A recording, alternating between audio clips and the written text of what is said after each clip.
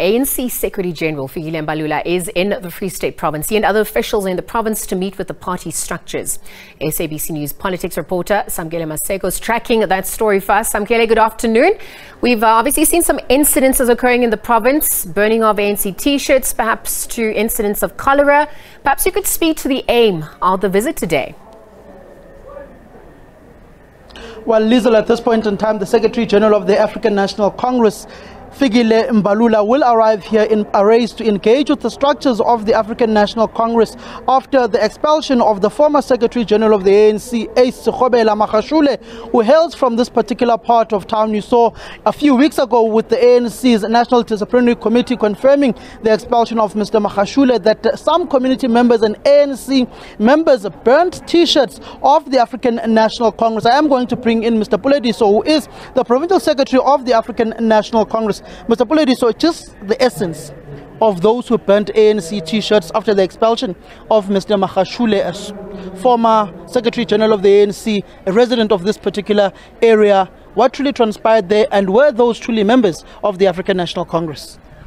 I still want to reiterate and reconfirm that the majority of the people who participated in that exercise were not members of the ANC because uh, the Regional Executive Committee has given us a detailed briefing about the occurrences of the day.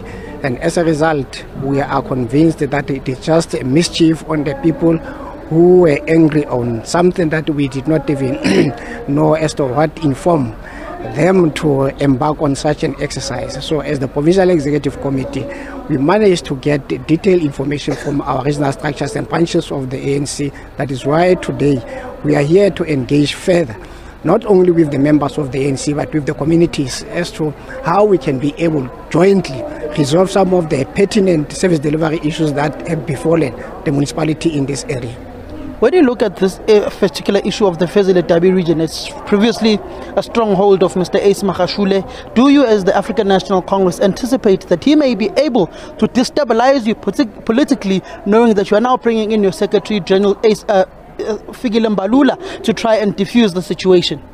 The ANC in the entirety of the province is stable, is solid uh, behind the current leadership, and there's no individual who's going to disrupt the uh, individual programs of the ANC or any other uh, operational issues that the ANC would have embarked upon.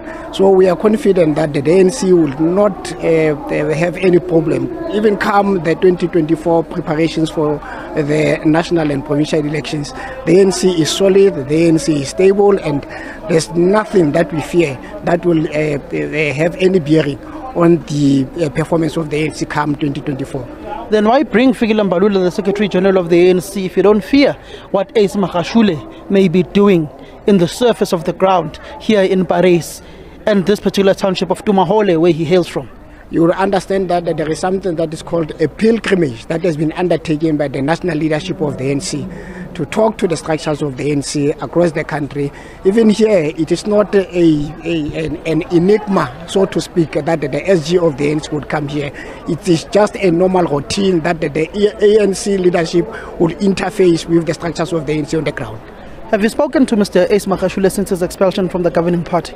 Not yet. We met with Mr. Magashule in one of the uh, funeral of the late comrade Tate, but we could not have any interaction because of the nature of the uh, event that we attended with him. Why would you not call him and engage with him since he's a resident of the ANC in the Free State, a branch member or former branch member of the ANC in the Free State, just to assess what is happening with him politically since his expulsion from the governing party and to try to rehabilitate him to respond to the National Disciplinary Committee of the ANC? Or you also just wanted the fellow gone? No, no. In one of the interviews that uh, uh, held, he indicated, in, intimated that he would still had a session with the provincial leadership of the ANC. So we are still awaiting for that because he has been going around interfacing with the leadership of the ANC. So I think we would have our session with him. Yes. When you look at this particular area, some of the service delivery issues that plague this particular issue, there's issues of cholera that are going that's going around within the country. The Free State has also been affected. Are you addressing the pertinent issues affecting the residents of Tumahole? Coming in here, we saw some roads are still gravel roads within this particular township. How are you addressing basic service delivery issues? Indeed, there are some challenges that the municipality is faced with. As the ANC leadership, we have interacted with our deployees in government, and there are some of the progress uh, uh, in terms of that is concerned that has been achieved so far because uh, at the beginning of next uh, last month we managed to have an interaction with the deployees. Uh, to come and resolve some of the tipping challenges, especially water, and we are satisfied with the progress that has been achieved thus far. But the most disappointing uh, issue is that there's internal sabotage, as we would know over the weekend. One of the pump station was burned down, and we are still engaging the the the, the, the, the police uh, to make some form of uh, investigations as to what is it that, that has happened there, and we are expecting any report from now so that those who are uh, fingered in that can just be taken to book. Why was the chief whip in the legislature fired?